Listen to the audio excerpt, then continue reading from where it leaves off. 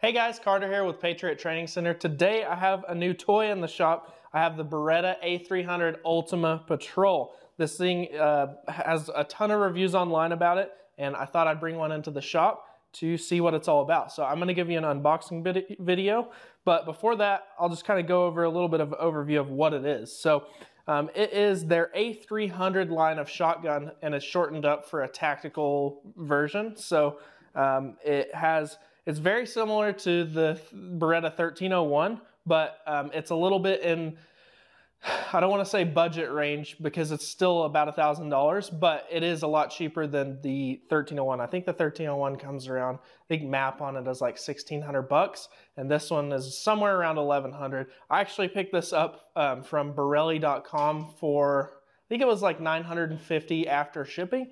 Um, so, I mean, for quality so far, um, it seems like everything's getting good reviews, but I'm gonna go ahead and open up the box and kind of see what it's all about.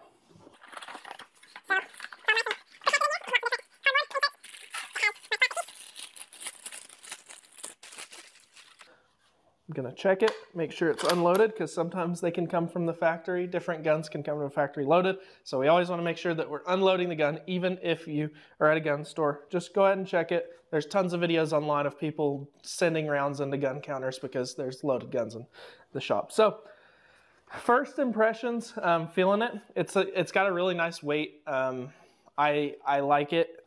The checkering on this handguard and the um, the stock feel really nice. Um, I'm going to start at the front of the gun and go back though. So it looks like we have a fiber optic front sight. So Beretta did something cool here. They added M-LOK and a QD mount on the front of the magazine clamp right here, which I thought was really cool. They also put um, M-LOK on the 3 o'clock, 6 o'clock, and 9 o'clock positions on the handguard or the forend, which is awesome.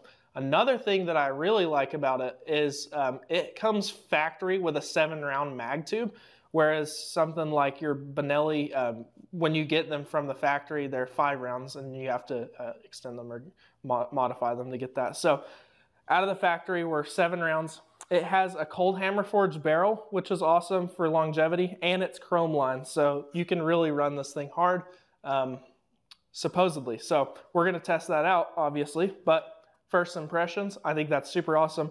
For the value, it seems like it's a really good deal. Um, moving on back to the action area. Another cool feature that they put on these that's a good safety feature that I like is you can actually unload the gun without having to rack the action. Um, so you can unload the magazine. Obviously you'd have to uh, pull the round out of the chamber, but I'll show you with this dummy round here. Um, you can, you press up this lifter and you pull up the bolt release like this and it comes out. So you can actually uh, unload it without having to rack them through the action which is super awesome. I love that.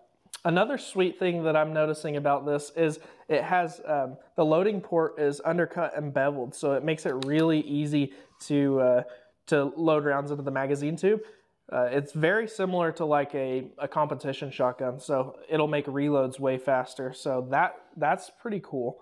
Um, moving on to the bolt, it looks like it's very similar, like the charging handle.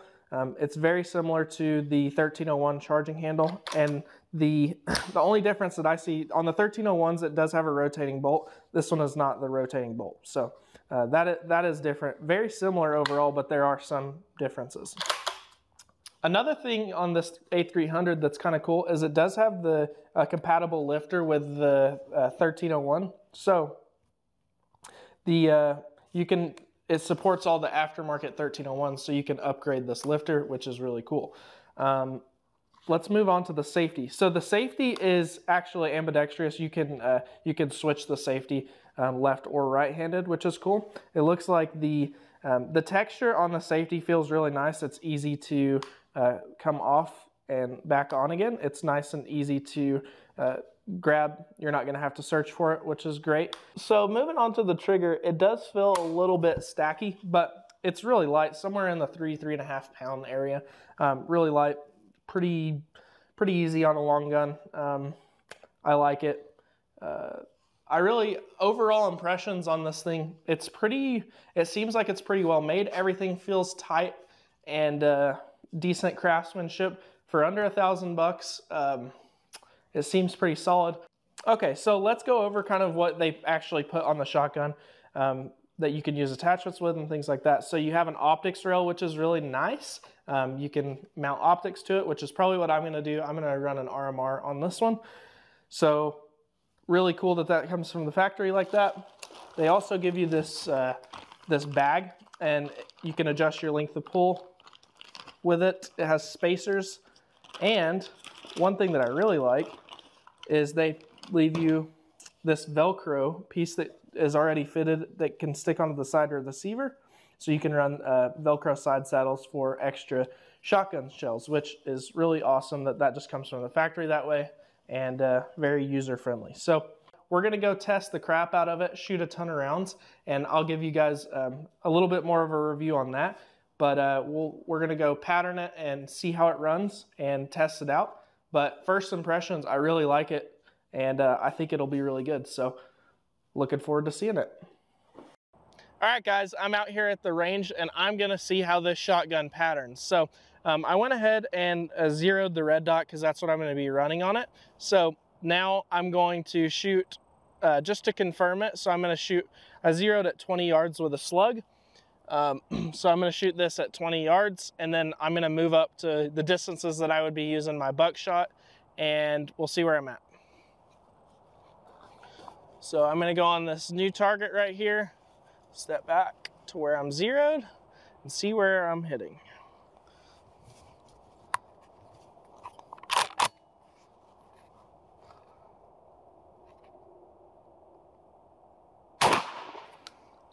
Might have been a little high on that, but we're gonna see. I think that's about where I was aiming. I was aiming dead center, but I, the shot broke when I was high, so still a pretty good hit. Kind of right where I needed it to be. You can see the wad hit right there, but this is where that or that slug went. That's a pretty decent hit. So, okay, so now I've shot my slug and I'm gonna pattern what I'm gonna be using in this for defense, which is Federal FliteControl 8 pellet double aught, which is unobtainium right now, but have a bunch of it. So that's what I'm gonna be using as a defense shotgun ammo. So uh, I'm gonna start at three yards and then back it up and see kind of where it's patterning at. So I'm going to uh, shoot this and just kind of see where I'm starting to get flyers and stuff. This stuff holds a pretty tight group um, even like with like an 870 or something. So we're gonna see how this patterns with that and uh, hopefully we have good results. So I'll start at three yards and back it up. All right, so as you can see, pretty, pretty tight. it's, uh, I mean, it looks about like the, uh, the slug did, so that's pretty tight. So back up to five yards. All right, so as you can see, the hole gets a little bit bigger, but I'm still like stupidly tight. Let's back up to seven. That was definitely me, but I mean, you're still, still holding really tight. You're not seeing like flyers out here. Everything's still just pretty dang tight. Okay, now I'm gonna shoot it at 10 yards. We'll see how it looks. Okay, so you can see it's starting to open up a little bit. Um, we're looking, I mean, it's still a fist size. We're at 10 yards. That is, uh, that's pretty dang tight. So uh, I'm gonna move it on back and we'll shoot it at 15 and see what it does. I'm gonna go ahead and switch to a new target um, to actually be able to see what the 15 is doing. All right, 15 yards. That might have been me. So 15 yards, still pretty good. Um, this one, this is me, so I dropped it pretty, let's see, we got one, two, three, four, five, six, seven, eight in the wad. So that was me dropping it a little low. Still a decent size uh, pattern here at 15, um, but I'm starting to, I'm starting to open it up. Um, so I'll shoot this, I have, I think I have one more of this. Um, so I'll go back to, uh, we'll go back to 20 yards and see what that does with the buckshot. Okay, I got a new target up. I'm gonna shoot this at 20 yards, which is where I'd zeroed my slug at. Um, it will probably, what I'm guessing will happen is I'm going to have my group size open up and um, I chose the right zero because once you have your group size open up um, more than where you can know that you're going to get your hits, you should probably do a slug changeover so you're not launching projectiles over their shoulder or getting ineffective hits. So I'm going to shoot it at 20 yards and we'll see how it patterns.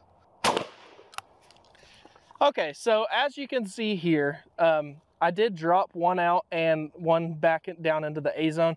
These are still pretty dang good hits at 20 yards with buckshot, but I am starting to pull them out of that range um, of, you know, the thoracic cavity and spine box. Like these, these are the hits that I really want.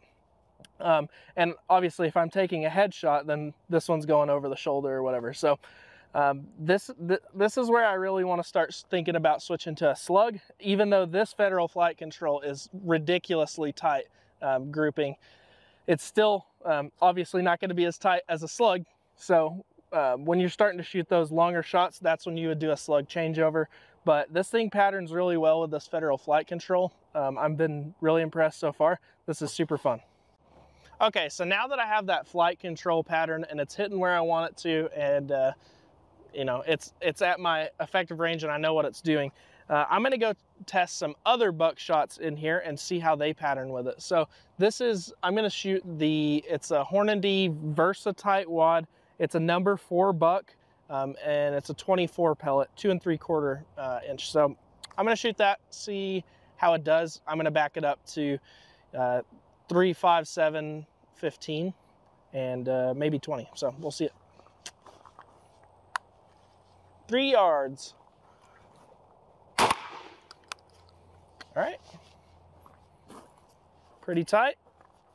No flyers at three yards. Shocker. All right, we're gonna go at five.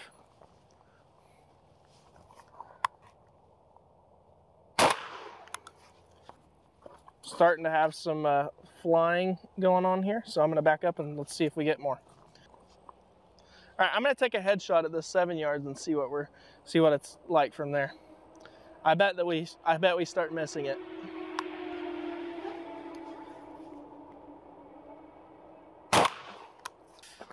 So this is our wad right here. It's actually uh, pretty decent. So uh, this is where I was aiming. Um, they're starting to drop down here, but that's still decent at seven yards. If I was shooting center of mass, um, that's still within the ring, so let's step back. All right, new target so we can actually see what's going on. I'm at 10 yards right here. Let's see where we're at. Center mass. Okay, wow. So as you can see, this 24 pellet is nuts. It's all over the place. So um, that was at 10 yards. I'm like, this is getting real close for me as far as uh, over the shoulder. So I don't know if I would take that long of a shot with it because um, I'm starting to get out of that zone of where I'm comfortable. So at 10 yards with this uh, 24 pellet number four buckshot, this is kind of where I'm where I'm thinking uh, I'd probably back it in um, if I'm shooting that. So yeah, super interesting. Let's uh, let's back it out to 15 just to see what it does. New target. Okay guys, I'm at 15 yards, uh, same stuff. I'm gonna shoot this uh, and we'll see where it's at. I'm gonna hit the, uh, I'm gonna go for center mass.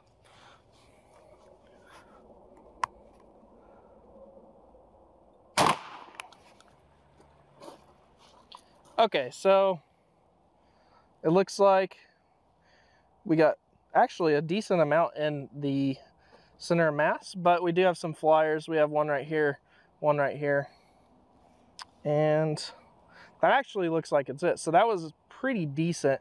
Uh, those are all hits. This one makes me a little bit nervous, um, especially when you're talking about in home defense situations and things.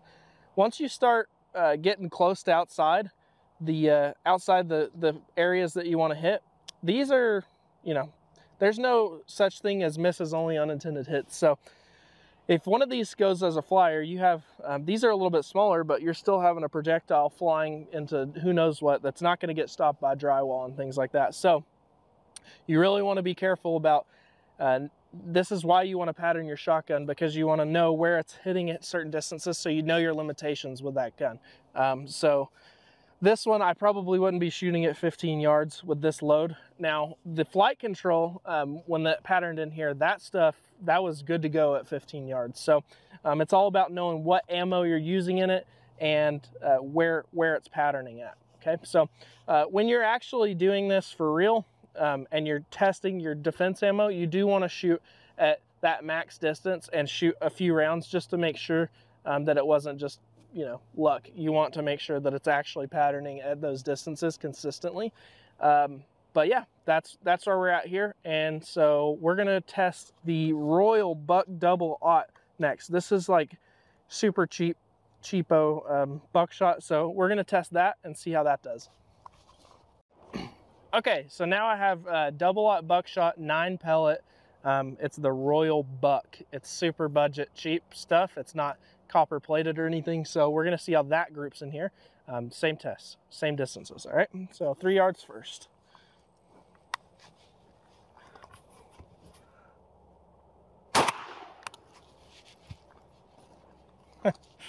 okay, so at three yards, we already have uh, one that dropped out of here. So this was where I hit. This dropped out. So if my placement was up here, um, it'd probably still be in, but uh, yeah, not great so far. So let's see what I'm doing at five yards.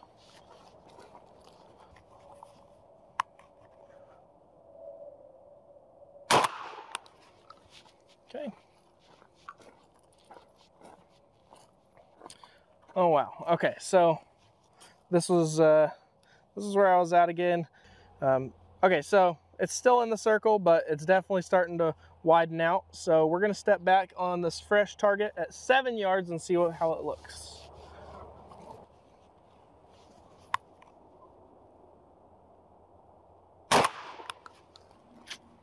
All right, it's riding the line here. So um, everything is actually in, but getting close here. So that one was a line break. That one was a line break. Um, let's step back. I'm gonna shoot this, uh, I'm gonna shoot the same target and uh, we'll see how much it opens up at 10 yards. Okay, Royal Bucket 10 yards.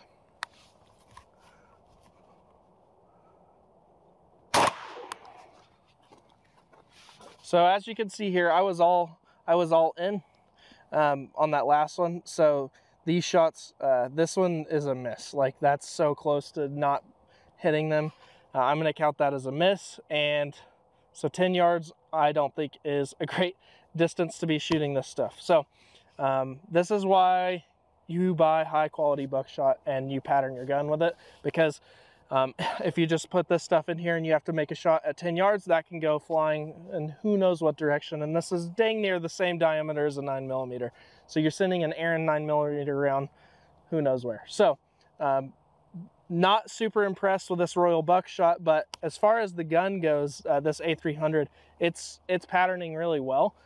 I've been running uh, higher quality stuff, hotter ammo, um, and you know shooting slugs and things. So this thing shoots really nice. I the recoil is great on it. Um, it's much better than a pump gun, right? Um, but as far as for value so far. We haven't had any hiccups. We haven't put that many rounds through it, but value I would say is really, really good on the shotgun. Um, we're gonna keep putting rounds down range with it, take it through a couple classes, um, and we'll see how it does on the longevity. But so far, I've I like it a ton, and uh, yeah, it's super awesome so far. If you want to come learn stuff like shooting shotguns and rifles and pistols, uh, check us out at Patriot Training Center. I'll catch you guys in the next one.